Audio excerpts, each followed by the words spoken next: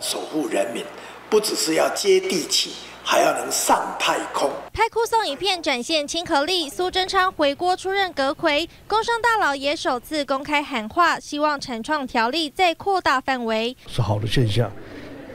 但是对于人才培育的体检呢，三年应该能够建议改为五年，首要是投资了哈，呃，投资环境的提升、改善，呃，跟外资内资的税务的改善。还有对于呃保留盈余五 percent 的课税啊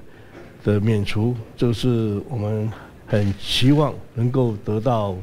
苏院长的重视。因为产创条例二零一九年底就要落日，但政府释出利多，有望将租税优惠再延长十年，并加码研发抵免百分之五。所以现行是十五趴跟十趴，那有些业者是跟我们建议说，这样的力大概在加强，所以我们希望各加五个 percent，也就是说单年是二十趴，三年的话十五趴。留才先育才，就是要抵御中国大陆的挖角，但眼前最怕猪瘟跟中美贸易战。苏院长过去就是我他的绰号叫“冲冲冲”嘛哈，那针对的猪瘟的问题呢，现场也及时下了一些指令哈。迈入五 G 的这个时代里面，物联网的科技兴起之下呢，国内的产业供应链以及呢商业的模式，我想必然呢发生很大的一个啊这个挑战跟变化。就盼内阁交接带来新气象。东森财经新闻中心演杨昭台北采访报道。